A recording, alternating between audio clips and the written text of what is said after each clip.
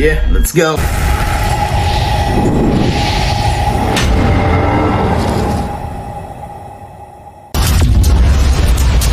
for today, season 1 today guys. So magpapamigay tayo ng battle pass kapag nakuha nyo itong last digit of 100 pesos. So kung di ka naman player guys, meron ka sa akin ng 150 pesos na Gcash. So lima ang pamimigay natin ng battle pass kapag nakuha itong 3 digit guys. So now is the day pwede na tayo magpapagames na tayo guys. So now, ang first digit guys, 439. 439. Don't forget to like, share, and subscribe. Thanks for watching. Bye!